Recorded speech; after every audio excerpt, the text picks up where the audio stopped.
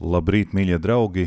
Esiet sveicināti visi, kas esat pieslēgušies Elizējai svētdienas rītā. Šīs dienas lozungu vārds ir atrodams vecajā derībā pravieša Amosa grāmatā, kur septītajā nodaļā Amos sacīja.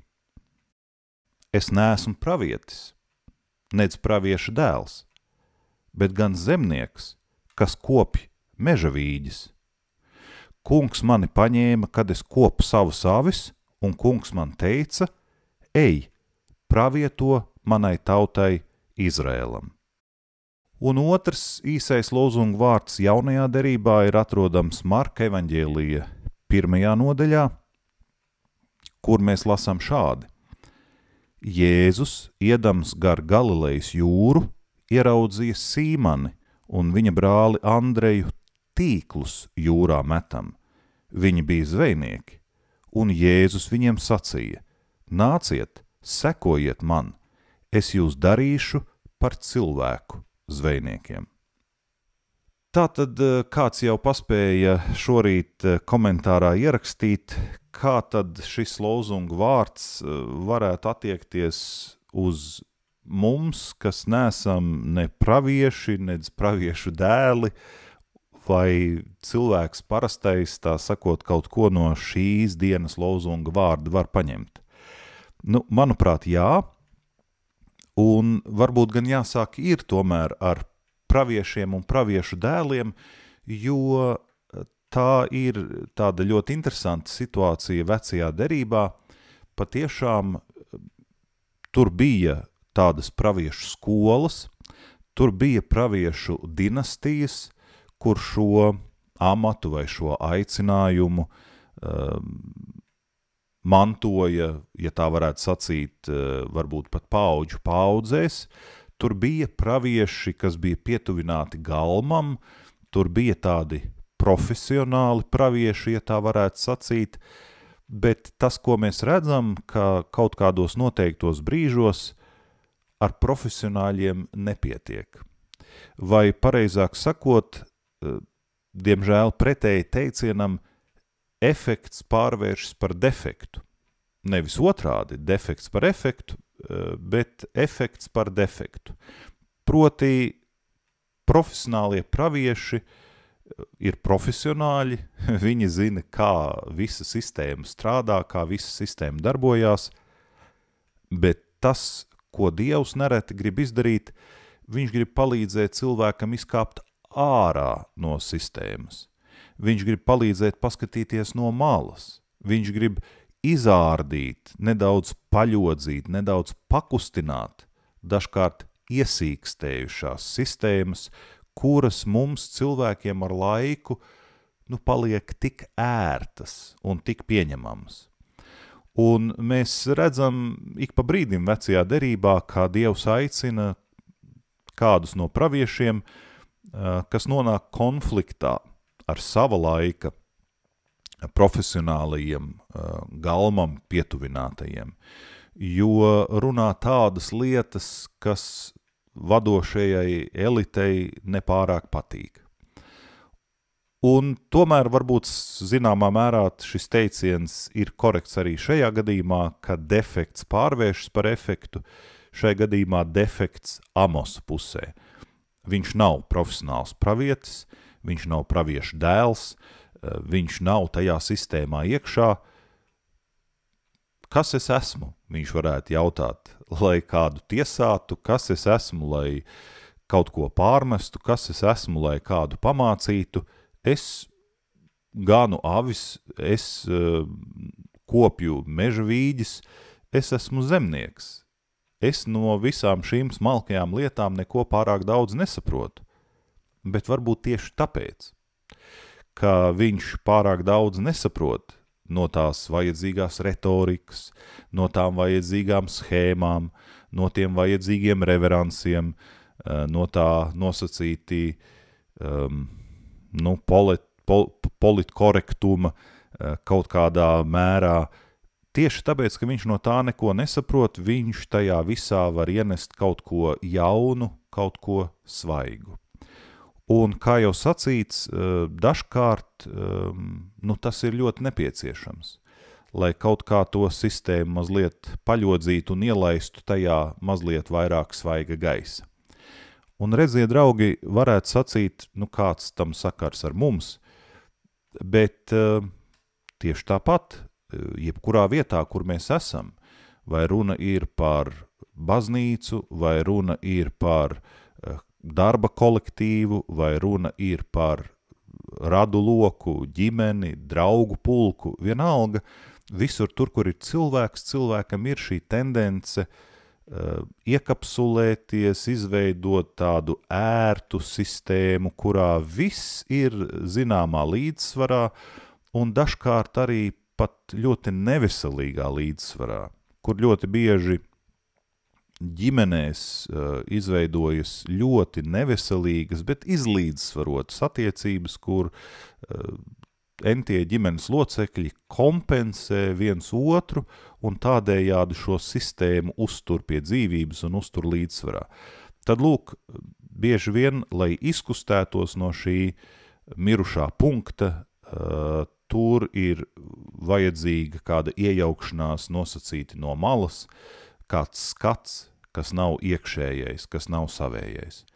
Protams, ka tādam cilvēkam ir ļoti liels risks uzņemt uz sevi visas negācijas, jo kuram gan patīk, ka viņa eh, ērtā, izveidotā, iekoptā sistēma kaut kādā veidā tiek traucēta. Nu, nevienam tas nepatīk, un līdz ar to tas ir tāds ļoti nepateicīgs amats ehm, šīs sistēmas izaicināt. Bet tas ir dažkārt vajadzīgs. Šeit, protams, ir runa par instrumentu, jo novērtēt, kura sistēma ir laba, kura nav, kuru vajadzētu izaicināt, kuru tieši pretēji varbūt būtu jāstiprina, tas jau ir mazliet cits jautājums. Tas ir tādas lielas sirds gudrības jautājums. Tas ir tāds patiešām dieva dotas gudrības jautājums. Šeit ir runa par instrumentu, ka dažkārt Tieši tāpēc, ka mēs neesam profesionāļi, tieši tāpēc, ka mēs varam paskatīties un pajautāt naivus jautājumus, tieši tas to attiecīgo sistēmu izaicina un mazliet ietekmē citā virzienā. Un otra nianse, kas man liekas ir svarīga šīs dienas lozungu vārdos, ir epizode jaunajā derībā, kur mēs redzam, Jēzus aicina kalpošanā zvejniekus. Tā tad atkal varētu sacīt, tie nav profesionāļi, tie nav farizēji, tie nav rakstu mācītāji, tie nav um, reliģiskai videi pietuvināti cilvēki tādā profesionālā nozīmē. Un varētu domāt, šī rakstu vieta, šis fragments turpina vecās derības iesākto, bet šeit ir mazliet varbūt cits akcents. Proti, Sīmanis un viņa brālis Andrejs ir profesionāļi, bet profesionāli zvejnieki. Un tas, kas tiek izdarīts, viņu profesionalitāte vienā jomā var izrādīties noderīga citā jomā. Un nevelti Jēzus saka, es jūs darīšu par cilvēku zvejniekiem. Viņš aizvien Viņš aizvien uztur šo metaforu par zvejošanu, viņš aizvien atsaucas uz viņu profesionālo pieredzi, tikai viņš saka, jūs vairs nezvejosiet uh, zivis, jūs zvejosiet cilvēkus. Un, protams, ka uh, tā ir pilnīgi cita uh, pieeja, tā ir pilnīgi cita, tur ir tāda ļoti nozīmīga nomaiņa notiek, uh, vai es strādāju ar zivīm, vai es strādāju ar cilvēkiem, bet šīs profesionālās iemaņas, šī profesionālā izpratne, acīm redzot, um, ir svarīga un nepieciešama. Un atkal mēs varam to attiecināt uz sevi, uz jebkuru dzīves jomu, kurā mēs atrodamies, mēs esam ar gadiem varbūt izkopuši kādas spējas, kādas prasmes noteiktā profesijā, noteiktā dzīves jomā, Tas nav slikti, neviens nesaka, ka mums no tā ir jāatsakās, ka mums tagad ir jāizmirst savas prasmes, bet tas, kas dažkārt notiek un tas, uz ko mēs dažkārt esam aicināti, nomainīt vidi, nomainīt to vidi, kurā mēs savus iepriekšējās profesionālās uzkrātās zināšanas esam īstenojuši. Nu, te man, protams, gribot, negribot, ir jādomā pašam par sevi, kur esmu daudzus gadus bijis um, mācītājs, profesionāls mācītājs, varētu sacīt, uh, un um, laika gaitā ir izveidojušās kādas noteiktas iemaņas, bet šajā brīdī uzrunāju jūs nu, visnotaļ uh, nekonvencionālos apstākļos, caur kameru, uh, pilnīgi citā formātā, bet jādomā, ka jaunie apstākļi un jaunā vide, kurā es esmu nonācis šeit Elizejā, tādā virtuālā telpā, ka tā jaunā vide netraucē īstenot iepriekšējās uzkrātās profesionālās iemaņas. Un atkal, līdz ar to, tas ir tāds zināms iedrošinājums ikvienam no mums, kas kādreiz dzīvē piedzīvojam kādas izmaiņas, pārmaiņas, no tā nav jābaidās, lai cik varbūt bailīgi tas kādreiz ir šādām pārmaiņām iet cauri, un man jāatzīst arī man pašam nebūt nav komfortabli joprojām atrasties šajā pārejas posmā savā dzīvē, kur tā migla aiz loga lēnām uh, kliedējas, un man ir ļoti liela cerība, ka tā migla kliedēsies aizvien uh, straujāk un, un ātrāk arī manā dzīvē, un ka tāda aizvien lielāka skaidrība par manu nākotni vienā brīdī iestāsies, lai gan šobrīd tas ir tāds zināms pārējais posms, un esmu tādos zināmos meklējumos, kā, kas turpmāk, kur tad ir mans pielietojums.